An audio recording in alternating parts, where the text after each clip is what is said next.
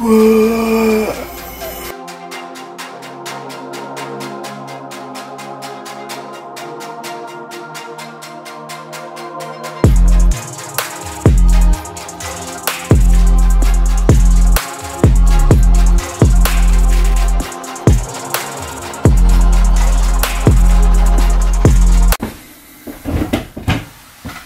really love technology. I hate to admit it. it. It makes life more easier, but it also makes life incredibly difficult. I remember my my first like computer I had as an adult. The hard drive I think was 256 megabytes.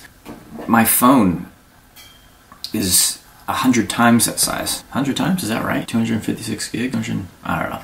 Terrible at math. My point being that I found this on the floor. Check this out. You can't even pick it up, it's so small. That's 32 gigs. It's 32 gigs right here. This is like an entire life of information on here. And it's this it's smaller than a Rice Chex. Unbelievable.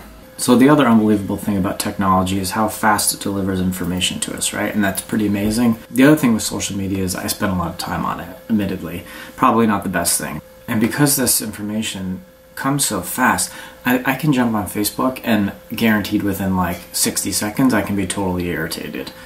Which is kind of my own fault, but it's easy to blame the internet, right? So, but here we go. Here's something Brigitte Bardot calls Me Too stars hypocritical. In the vast majority of cases, they are being hypocritical, ridiculous, uninteresting, says the 83 year old actress. There are many actresses who flirt with producers in order to get a role. Um, this is disgusting.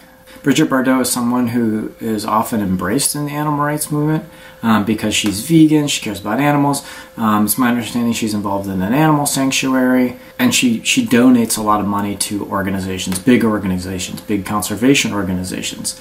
But Brigitte Bardot, she's a xenophobe, she's racist, and she doesn't believe survivors of sexual assault. This woman is extremely problematic. She says, I was never the victim of sexual harassment and I found it charming when I was told I was beautiful or I had a nice little backside. This kind of compliment is nice. Well, here's a newsflash, Brigitte Bardot. It's not nice, it's called harassment. This is one of those moments where I stop and think, are we winning? I hear this a lot. We've reached a tipping point for animals. 2018 is the year for the animals. Veganism on the rise. Animal rights on the rise. Fastest growing social justice movement. And I really have to give pause and say, really? Are, are you sure?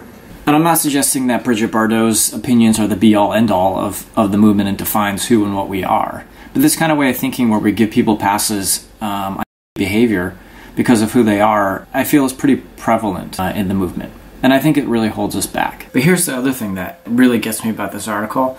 Beyond all the awful, terrible things we know about Brigitte Bardot, right? And how the animal rights movement often apologizes for her because of her love of animals. This article in the BBC, the only time it mentions anything about Brigitte Bardot and who she is personally is at the end, and it says Bardot, who is known as a prominent animal rights campaigner, has previously been fined for inciting racism following anti Muslim comments.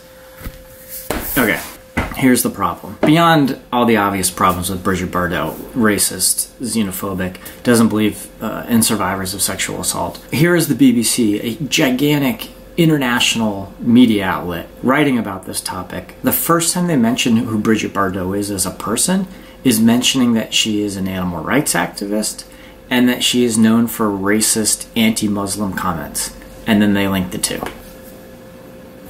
come on people like we ha- we have to do better than this. This is not what we can have in this animal rights movement. In order for the animal rights movement to be taken more seriously as a liberation struggle we have to start acting like one. We have to show that we support and we believe in the ideologies of other movements. And doing those things not because we want something from them we want them to be vegan we want them to be involved in our, our organizations and our movements but because we believe in them. And i think that we all can agree that racism xenophobia, and not believing survivors of sexual assault are serious problems. These are folks that we do not need or want in our movement.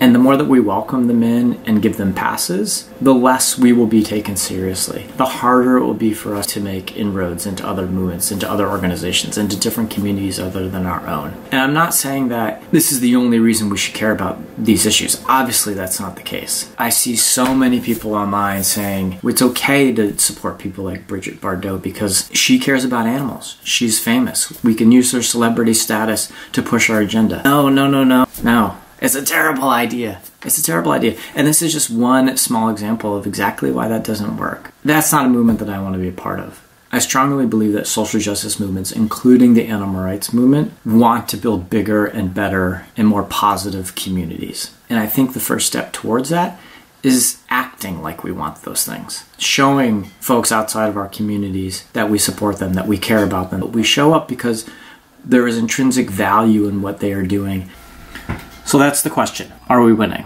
I think as a movement we do amazing things. I think we could do so much more and we could be so much more. But we have to start asking those big questions. We need to start having those difficult conversations. And hopefully we can start to do a little bit of that here. And today's question is about hall passes. Do we give hall passes to racists, to xenophobes, to people that don't believe or support uh, survivors of sexual assault? Do we give passes to transphobic people, homophobic people? Do we say all those things are okay as long as you support the idea of animal rights, as long as you're vegan, that all the rest of your politics don't matter? To me, the answer is obvious, and I hope it's obvious to you too.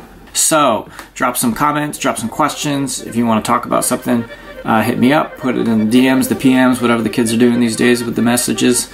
Uh, tweet at me, Instagram, Facebook, I don't care. Most of all, hit subscribe. I'm gonna try to do this uh, at least once once a week. I got one subscriber right now. That person's gonna be stoked when this video comes out. But you could be the next subscriber. Hit me up. In the meantime, uh, I need to get the hell out of here.